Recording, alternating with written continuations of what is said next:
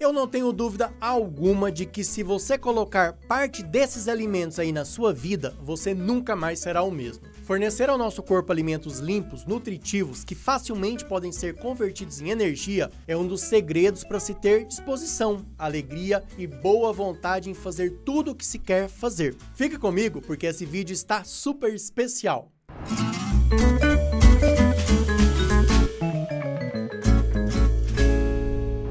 Olá, seja bem-vindo a mais um vídeo com Rafael Freitas.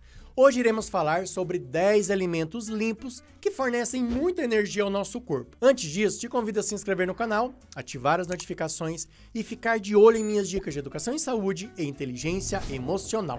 Minha gente, Energia é a base para sairmos da cama, fazermos tudo o que o nosso corpo precisa para vivermos em plenitude. Quem nunca se sentiu para baixo, triste, sem energia para fazer o que precisa ser feito? Aquela preguiça mental que nos faz querer só dormir e ficar na cama.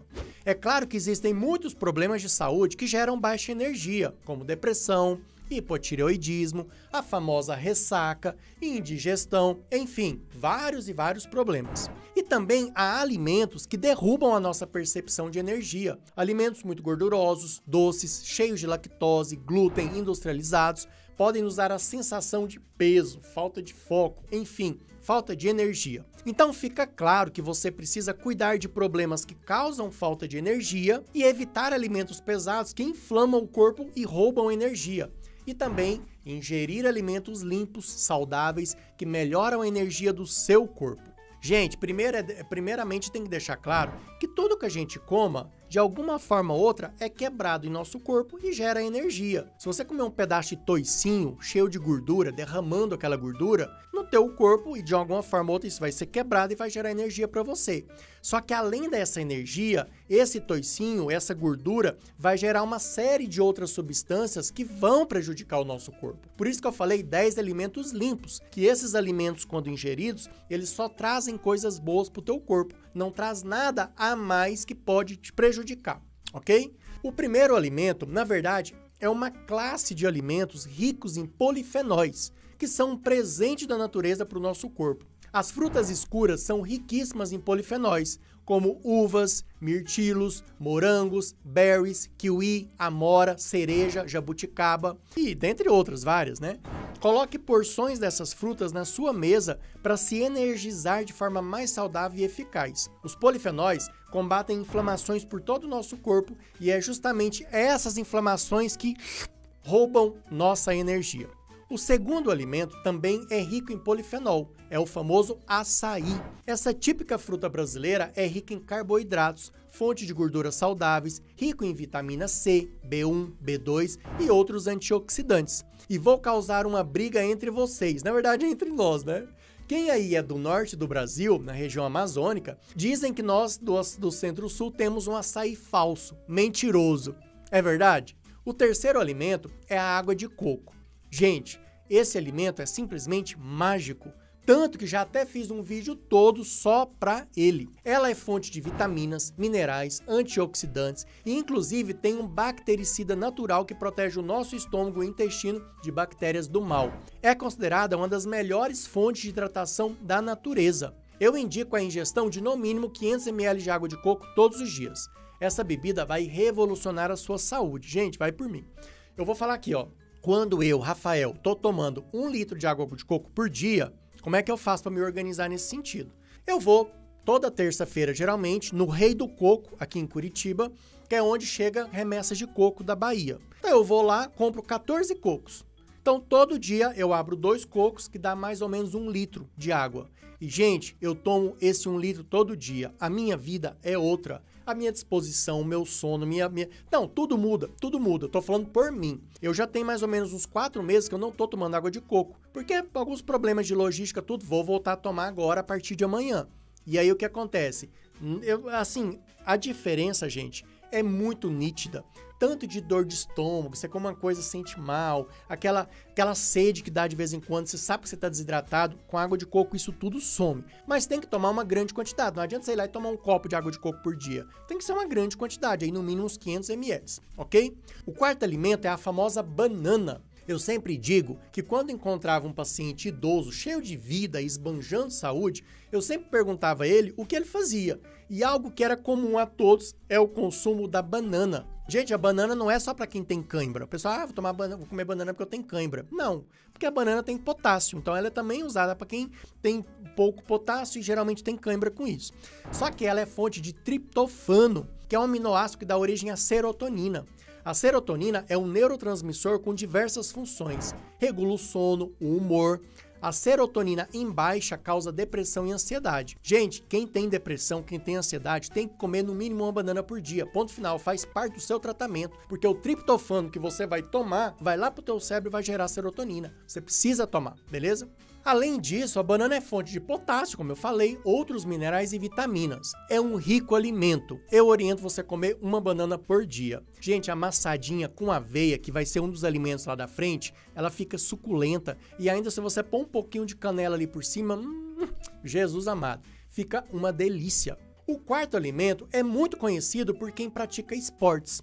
Eu fui apresentado ao Guaraná em pó pelo meu avô Binga, que sempre tomava antes de jogar bola. Ele é fonte de cafeína, antioxidantes e não sei se vocês sabem, mas o Guaraná em pó tem o dobro de cafeína que o café tem. Você pode usar ele batido com frutas, misturado na água. Ele tem um gosto muito forte, viu, gente? Eu tomo Guaraná em pó como se fosse remédio. Quando eu vou fazer uma caminhada mais longa, quando às vezes tô me sentindo meio cansado, eu tomo ali para dar uma, uma, uma melhoradinha. O quinto alimento é a maca peruana. Ela é mais conhecida pelo seu efeito afrodisíaco, mas fornece energia, é fonte de vitaminas do complexo B, C e E, selênio e outros antioxidantes. Você pode usar a maca peruana em cápsulas ou fazendo ela é, o chá mesmo. Pega o pozinho dela e faz o chá. O sexto alimento é bem comum, mas pouco usado, é o chá verde. Ele é fonte de cafeína, que acelera o metabolismo, aumenta o gasto energético do corpo, queima a gordura corporal e aumenta a disposição. Ele também é rico em um aminoácido que induz a produção de dopamina e serotonina, gente. Olha só. Tomar chá verde após o almoço também ajuda na digestão e evita aquele sono que dá quando a gente come alguma coisa mais pesada. O oitavo alimento é a classe das oleaginosas, que são as nozes, as castanhas e as amêndoas. Elas são boas fontes de proteína vegetal e gorduras insaturadas, nutrientes que ajudam a controlar a pressão alta e o colesterol. São ricas em magnésio, cobre, selênio, que ajudam também a diminuir o estresse e melhoram a memória e potencializam a produção de energia pelas nossas células. E aqui, gente, não tem como falar de castanhas e eu dou um, beijo especial aqui para Lil, lá de Salvador, que é quem de dois em dois meses ela manda de presente para mim as castanhas é, de caju lá direto de Salvador. Porque, gente, aqui no sul, no centro-sul, é muito caro castanha de caju. E no Nordeste ela é muito barata. Então ela manda para mim de presente, geralmente manda um saco assim de um quilo. E aí todo dia eu como a minha castanha de caju, minha, as minhas castanhas de caju.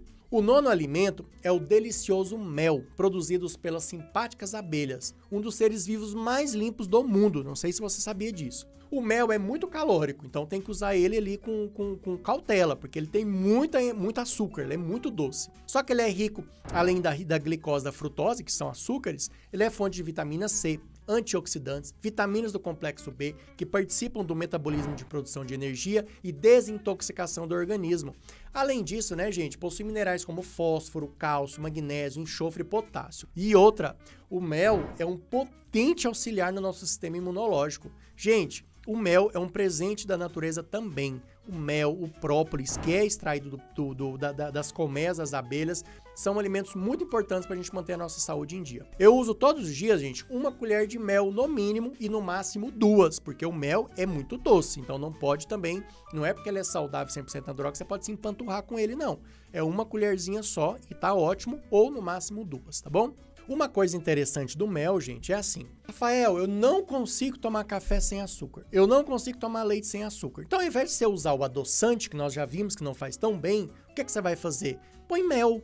Porque além de você adoçar, você está tomando mel, que é um alimento muito rico, muito nutritivo, um alimento importante para você. Pronto, você mata um coelho, dois coelhos com a paulada soja. Tadinho dos coelhos, né? Não merecem morrer de com paulada, brincando. O décimo alimento é a simpática aveia, que é fonte de carboidratos de baixo índice glicêmico. Ou seja, ela vai liberando a glicose aos poucos. Tipo, tipo, sem dar aquele pico de insulina que tanto prejudica o nosso corpo quando consumimos açúcares em geral. A aveia ainda ajuda a controlar o açúcar no sangue, além de ser rica em vitaminas do complexo B, que melhoram os níveis de produção de energia e disposição. Gente, é aquilo que eu falei, né? Se você fala assim, Rafael, mas aveia, se você pegar aveia pura e pôr na boca, gente, eu vomito. É, não dá para aquela coisa seca. Então o que que eu faço? Eu pego uma banana, e vou, e vou amassando aquela banana. Aquela banana meio sequinha, ela começa a ficar toda molhadinha. Aí eu vou lá e coloco a aveia, uma, umas, uma, duas colheres, duas, três colherzinhas de chá de aveia, de aveia ali, vou fazendo, né? Até ficar uma, uma pasta molhadinha. Põe um pouquinho de canela e como. É o jeito que eu como aveia, que eu gosto da aveia. É desse jeito. Ou você bate a aveia com vitamina. Põe ali banana, maçã, né? Um pouquinho de leite sem lactose, e aí você põe ali o mel, já adoça, e põe a aveia. Então, um alimento extremamente nutritivo, muito rico. E eu vou dar mais um alimento de brinde, que é o chocolate amargo. Amargo! Ele é um ótimo antioxidante que ajuda a retardar o envelhecimento, ajuda na saúde do coraçãozinho e também possui cafeína que ajuda a dar disposição. Gente, percebam que esses alimentos não apenas dão energia, mas eles melhoram nossa saúde como um todo. São naturais, limpos e saudáveis. Ah, você esqueceu do café. Gente, o café todo mundo conhece, né? Ele dá energia, é saudável, desde que não seja consumido em excesso e com açúcar, tá? Ele tem antioxidantes, cafeína e é um alimento saudável que ajuda muito o nosso corpo, não em excesso e sem açúcar, tá bom? Agora me conte, você gosta de açaí? Você sente-se cansado e indisposto ao longo do dia? E você toma café todos os dias? Me conta aí que eu quero saber, tá bom? Gente, obrigado pela companhia. Não se esqueçam de curtir, compartilhar, se inscrever no canal e ativar as notificações e se cuidarem ao máximo, ok? Um grande abraço. Se cuide!